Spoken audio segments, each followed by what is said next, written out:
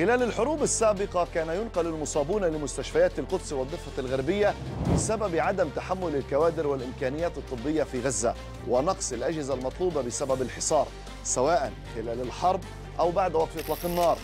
إسرائيل دمرت معبر إيريس وهي تمنع نقل المصابين بما يسمى بفك الارتباط كما قالوا.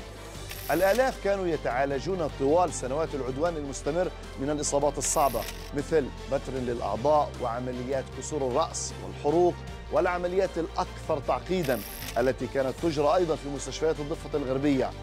الآن هنالك إعلان إسرائيلي واضح بمنع نقل المصابين. وحتى إعداد هذا التقرير هنالك أكثر من 16 ألف مصاب.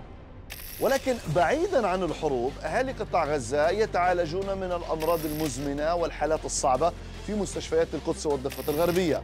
أولئك أيضا لن يتلقوا العلاج ويبدو أنه لن يحدث هذا حتى بعد وقف إطلاق النار.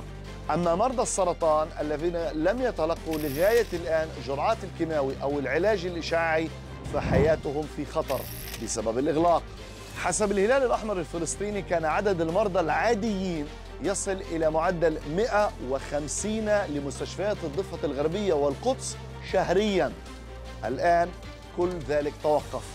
حسب القانون الدولي قوة الاحتلال عليها القبول بنقل المصابين للمستشفيات. إسرائيل يبدو أنها فوق القانون.